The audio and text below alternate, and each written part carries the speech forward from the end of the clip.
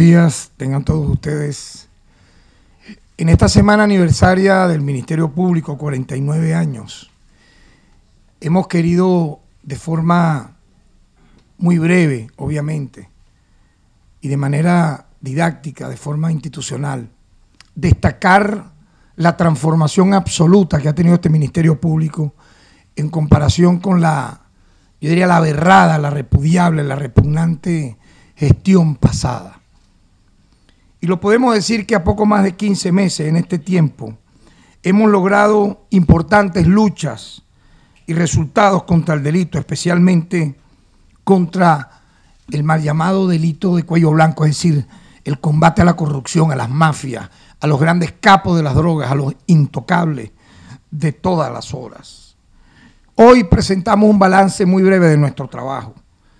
Para que tengan una idea, en este periodo de 15 meses que tenemos en el Ministerio Público, ingresaron 654.319 casos y egresaron 447.276. Quisiera destacar que el mayor número de estos casos corresponden a delitos comunes, el 60% del total, es decir, 389.578. Cuando hablamos de delitos comunes nos referimos a, a, los delitos graves de homicidio, secuestro, atraco, robo, hurto, etcétera. Le siguen igualmente delitos vinculados a protección integral de la familia, 92.461 casos, 14% del total. Y delitos de violencia contra la mujer, 61.037, 9% del total. Esto es una alerta para toda la sociedad venezolana, como lamentablemente ha venido creciendo los delitos de violencia contra la mujer y el combate del Ministerio Público contra ello. Destacamos la lucha contra la corrupción en esta semana aniversaria, 49 años del Ministerio Público. Ha desarrollado una lucha sin precedentes en la historia de este país. Atrás quedaron los malos tiempos de los Serpa los Naranjo Osti, los Iván Darío Badel, los José Ramón Medina, y la innombrable corrupta prófugo de la justicia, cómplice de, tráfico de drogas y, y, de todas las peores calañas. Tiempo nefasto, puesto que fíjense ustedes que esta lucha sin precedente ha logrado depuración internamente 30 fiscales del Ministerio Público Privado de Libertad por delitos de corrupción, de los cuales 19 ya han sido condenados y de los cuales 25 se encuentran en este momento en etapa de privativa de libertad para ser condenado. Por delitos de corrupción tenemos 1.116 personas aprendidas, 1.282 personas acusadas, 751 condenadas por admisión de hecho y 56 condenadas en juicio. Se destaca, obviamente, la lucha contra la corrupción petrolera en PDVSA.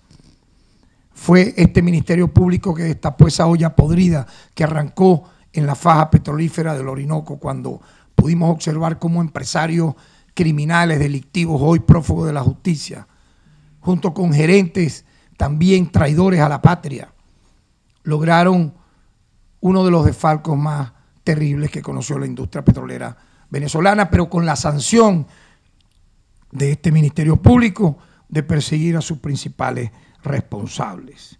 Quiero destacar, por ejemplo, las tramas de corrupción que develamos en la empresa mixta Ferreteñitro, la recompra del diésel del Centro de Refinación de Paraguaná, el defalgo del PA del, de, de PDVSA Gas Colombia, el realizado por la oficina satélite de PDVSA Service, entre muchos otros, como el de Petrosamora, allá en el occidente del país. En total, de nuestra, desde nuestra llegada, hemos develado, óigase bien, 18 tramas de corrupción vinculadas a la corrupción petrolera, que han costado al país, como sabemos, miles de millones de dólares y aspiramos, aparte de la confiscación de los bienes que sabemos existe, porque se han incautado bienes que están en manos del Estado venezolano, la repatriación de esos capitales mal habidos y esperamos que entre otros gobiernos, el de los Estados Unidos, cumpla con el deber de esa repatriación cuando así lo solicite el Ministerio Público, terminadas las condenatorias de estos sujetos. Quiero destacar que hay 96 funcionarios detenidos, todos los cuales han sido acusados. Esto es muy importante, no solo imputados, acusados, de los cuales ya cinco han sido condenados. Una de las tramas importantes que hemos nosotros golpeado en estos 15 meses, en este 49 aniversario, repito, del Ministerio Público y hemos querido rendir este balance, es el tema de las drogas. Desmantelaciones e imputaciones y acusaciones contra el red de tráfico de drogas de envíos de la misma de Europa al Medio Oriente. Por este caso fueron detenidos 14 personas en el país y 4 en el extranjero. El cartel del malecón desarticulado totalmente. Fueron detenidos 14 integrantes y la solicitud de la extradición de su principal capo protegido por la antigua fiscal general de la República. Además, dimos importantes golpes al envío de drogas mediante encomiendas por vía terrestre, mediante vehículos y a través de vuelos ilegales. Aparte, por supuesto, las conocidas narcomulas. Allí hemos incautado entre 2007 y 2018 698 vehículos, 17.341 kilos de droga, lo que implica en el caso del transporte terrestre el 43% del total. Y hay 1.917 procesados por esta modalidad, de tráfico. Dijimos también igualmente que en la cifra de aeronaves, 26 aeronaves dedicadas al tráfico de drogas incautadas, destrucción de 14 pistas clandestinas, 51 personas aprendidas. Igualmente debo destacar que en total ingresaron al Ministerio Público por el combate a las drogas 13.280 casos, de los cuales se han realizado 19.732 imputaciones, se han realizado 6.381 acusaciones. Comparemos esto con la gestión pasada que lo que hacía era sobreseer, liberar traficantes de drogas, porque había complicidad corrupta y manifiesta con este flagelo. Y podemos demostrarlo con la propia cifra que la antigua fiscal corrupta y traidora le, presentaba a la propia Asamblea Nacional. Se han obtenido 2.135 sentencias condenatorias. Se rompió la tendencia que encontramos de producir más sobreseimientos que acusaciones en casos de droga, donde desde nuestra llegada, vean ustedes, se han solicitado nada más y nada menos que la cuarta parte menos de sobreseimientos que acusaciones. 4.245. En el caso de la incautación de drogas, puedo decir 41 toneladas, es decir, 348 kilos de droga, 14.754 kilos de marihuana, 23.528 kilos de cocaína y 66 kilos de otras drogas. Esto es muy importante porque la sociedad venezolana necesitaba de un ministerio público que judicializara estos delitos. Porque ¿qué hacemos con que en el pasado los órganos auxiliares de justicia, sea CICPC, Guardia Nacional o policías regionales, detuvieran a traficantes de drogas y luego el Ministerio Público abriera una averiguación, un MP y dejase eso dormir hasta llegar a los archivos fiscales o los sobreseimientos? En el caso de legitimación de capitales, lucha contra el fraude importador con divisas de Cádiz en COEX. Quiero destacar que allí hemos informado de varias tramas con el logro de 22 personas detenidas y la ocupación de 51 empresas. Destacan, por ejemplo, entre ellas los dueños del grupo empresarial García Armas, que desfalcaron con 50 millones de dólares. Y hace, recientemente informamos de un reciente desfalco por 14 millones de dólares con cuatro empresas que simularon importaciones de fertilizantes y maquinaria agrícola. Otro caso relevante, bueno, nada más y nada menos que el capo de este lavado de dólares que es Diego Salazar Carreño y José Enrique Luongo, por su responsabilidad en blanqueo de capitales por una cantidad superior a la de los 1.347 millones de euros a través de la banca privada de Andorra. Igualmente se retomó la investigación penal relacionada con estafas cometidas por la sociedad mercantil ABA. José y el mercado de capitales, casa de bolsa, a los cuales se dictaron 19 órdenes de aprehensión. Muy importante esto para el país, porque aquí está involucrado del jefe de, eh, de Estado, presidente de la República, en esta lucha contra la corrupción, presidente Nicolás Maduro, hasta el más humilde de nuestros abogados, pasando por todos los jefes de poderes públicos, el Poder Judicial, vaya mi reconocimiento, pues, al TCJ, a los tribunales de justicia, a los órganos auxiliares, porque sin esta lucha unida de todos no hubiésemos logrado estos resultados.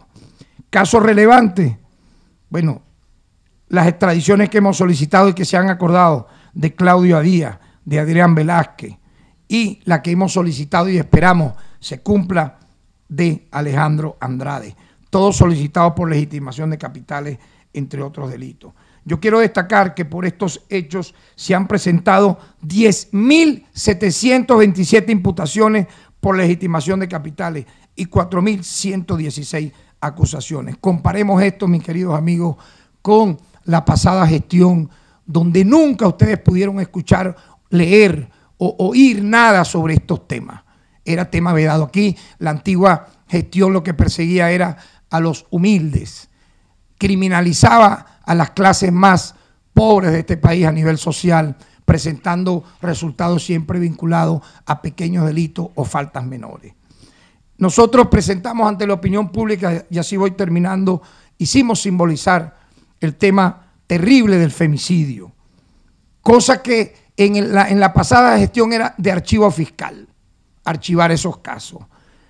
Recuerdo, por ejemplo, lo que esta gestión hizo por el caso de Mayeli Hernández, que conmocionó al país. Pero yo quiero agregar que ingresaron en estos 15 meses de gestión que llevamos 96 casos de femicidio, es decir, asesinatos de mujeres por parte de exparejas o de parejas por cuestiones de celos, etcétera, jamás excusables y que según mi criterio merecen la máxima pena, es decir, 30 años. Hay casos muy pequeños a nivel inverso, este, es decir, de mujeres que han asesinado a hombres por cuestiones de celos, pero es un caso muy, eh, yo diría, dentro de la proporción que aquí estoy mencionando, sumamente inferior, pero también mi llamado a la reflexión, a la familia venezolana, al respeto, que no exista este tipo de violencia intrafamiliar, porque muchas veces no se denuncia, y eso es lo grave. Yo llamo a que se denuncien estos casos para evitar estos crímenes que finalmente ocurren. Hemos logrado 85 privativas de libertad presuntos responsables, 78 imputaciones y 73 acusaciones. Con el trata de personas, 26 personas hemos detenido que integraban una red de trata de personas, es decir, esclavitud humana, que funcionaba en la Quinta Villarreal, ubicada en Baruta.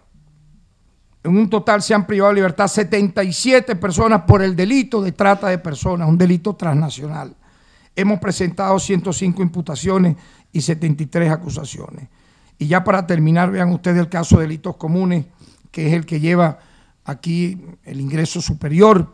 Hemos visto cómo en estos 15 meses hemos presentado 6.864 acusaciones por delito de homicidio. Aquí no hay impunidad con este tipo de delitos tan graves como es el de matar por matar. repito, 6.864 acusaciones.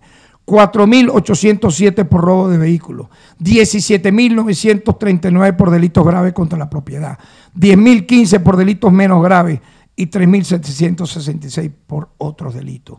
En total, aproximadamente 50.000 acusaciones por delitos comunes en 15 meses. Un récord en toda la historia del Ministerio Público en un periodo tan corto de tiempo. En 15 meses hemos recuperado 9.665 vehículos y se han entregado 18.165, aumentando la eficiencia en la entrega de vehículos en un 40% con respecto a los últimos 19 meses de la gestión pasada, que comercializaba con no entregarle una moto, un carro a un ciudadano. Por lo tanto, pues podemos decir que se ha logrado el objetivo, hemos hecho todo lo posible por dignificar este Ministerio Público y seguiremos adelante. Muchas gracias.